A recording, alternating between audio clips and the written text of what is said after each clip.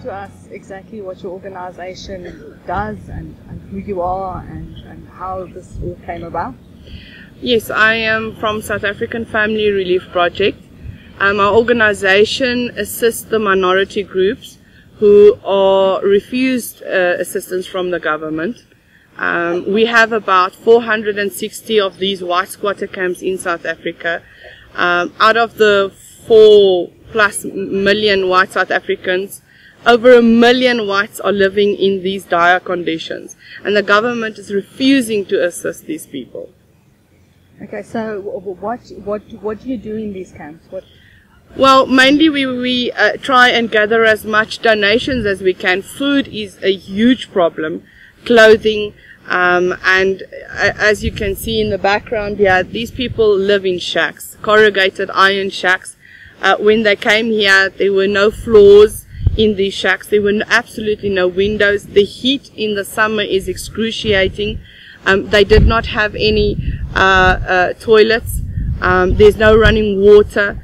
Uh, after a long battle with the camp management and the municipality, they eventually installed five faucets, taps of running water, um, but it's still not sufficient. There's about 300 residents in this camp, and uh, um, there's absolutely no assistance. If it wasn't for the donations coming in from the ordinary man on the street, we wouldn't, they wouldn't get anything.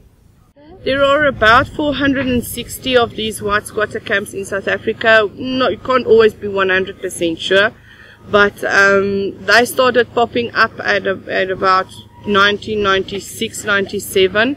Um, this camp used to be the old Coronation Park uh, camp. The government decided to put the people off the property and they moved them to this property, which is actually an old landfill. Um, so the the conditions of these camps are horrific. Um, the reason why the people end up in these these situations or in these camps is because of the broad-based black economic empowerment law, which states that um, you cannot employ a white person. Um, the white minority men are not getting employment because of these laws, the affirmative action laws. So uh, the blue collar workers who are your middle class uh, workers are directly affected um, by these laws.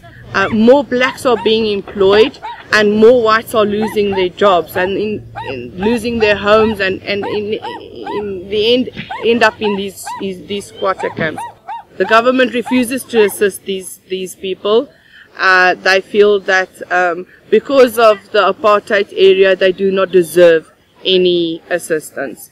Um, but most of these children in these camps were born post 1994 uh, apartheid, and I feel that the discrimination against these these children are unfair. They were born in a supposedly free and fair South Africa, but yet they are denied assistance. It's reverse apartheid, in my opinion. It's a direct reverse apartheid. Mm -hmm.